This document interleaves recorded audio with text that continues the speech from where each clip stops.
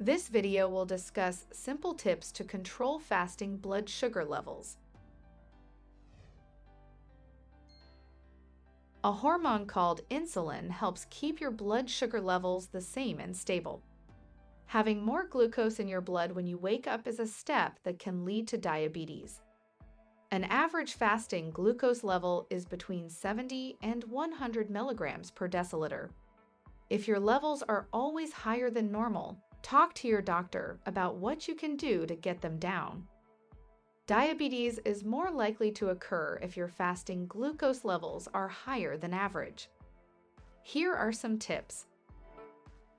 Weight loss. Start a losing weight program if you are overweight or obese. Excess weight affects how your hormones and blood sugar work together. People who lose 7 to 10% of their body weight can reduce their chances of getting diabetes, which can help them stay healthy. Physical activity.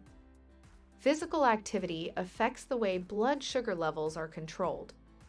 When you exercise, your body becomes more sensitive to insulin, which helps you use glucose. You can go biking, hiking, or just walking around the neighborhood, and it doesn't matter what you do as long as you are moving. Try to get at least 30 to 45 minutes of exercise most days of the week. Healthy diet. If you eat a lot of junk food, you'll have problems with your hormones. Sweet drinks, Junk food and foods with a lot of refined sugar should all be cut out of your diet. Instead, you should eat complex carbs like beans and legumes and lean proteins like fish, chicken, and turkey to help fill you up. High protein snack. Stop snacking at night if you wake up with high blood sugar in the morning and if your blood sugar levels are normal during the day but high in the morning, your late night food choices may be to blame. Sugary foods can mess with your hormones, causing you to wake up with high blood sugar.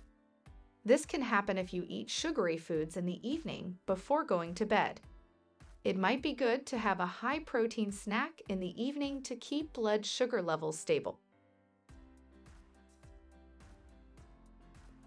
Don't forget to download our free ebook click the download link in the description below this video. If you thought this video was helpful, please like and share it with your friends. Thanks for watching, and we wish you great health, wealth, and happiness.